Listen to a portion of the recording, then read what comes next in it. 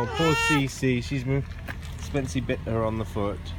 Hey guys, where are we going?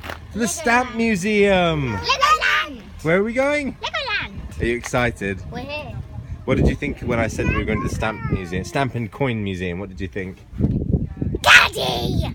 That's what I thought. you were telling me it was really going to be really boring, didn't you? Yeah, I told it you it was going to be the dumbest thing ever. We were going to go through every single coin all the way from 1800 all the way till now, weren't we? We're actually going to go to the World War II Museum and then we went to Legoland instead. Are you excited, Isla? Yeah. What do you want to do today? Uh, I want to go to Legoland Don't be shy. go Did you do your makeup? Did you go your makeup this morning?